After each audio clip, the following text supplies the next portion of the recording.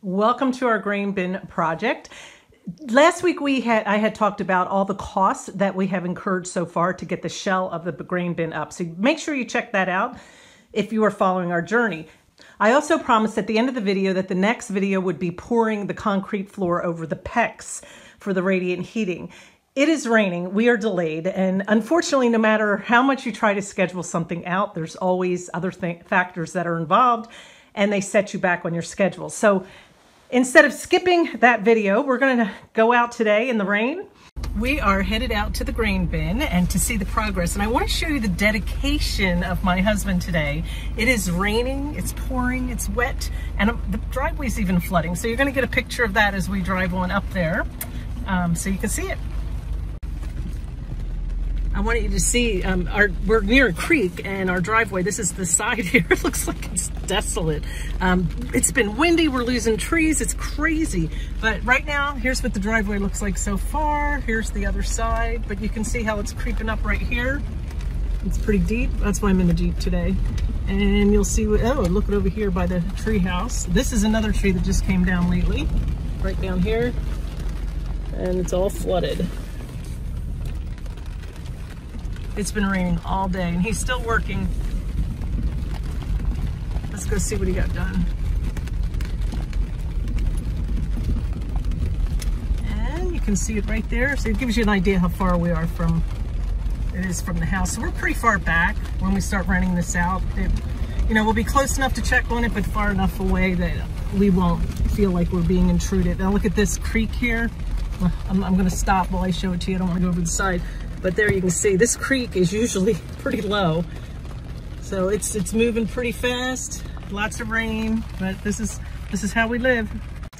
And there we are at the door. He is parked up here. He is working. So let's find out what's what's going on today.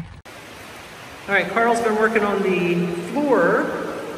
He's going to put radiant heating in. So these are all the tubes, which are actually called what? Mesh level. Make all my hoses level. So this is PEX. Because it's deeper on the edge than it is in the middle. And then you'll like put concrete on top of this, right? Yep. So he's getting ready for the concrete truck to come.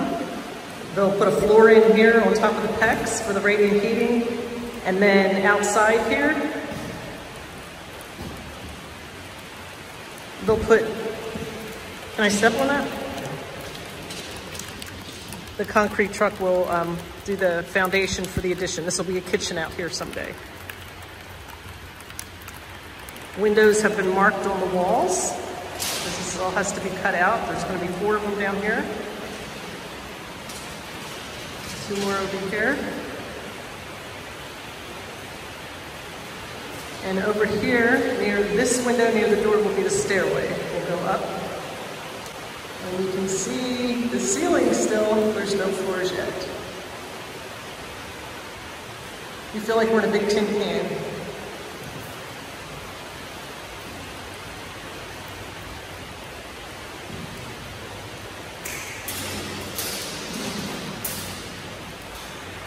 And the radius is still um, ready to be cut on the door.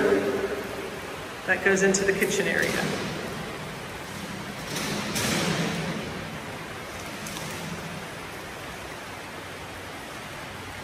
Wait until the anchors all right, we're headed back. It's raining really bad now, so I'm going back. One of the questions I know you're going to ask is how is the radiant heating going to work? How is it going to be powered up?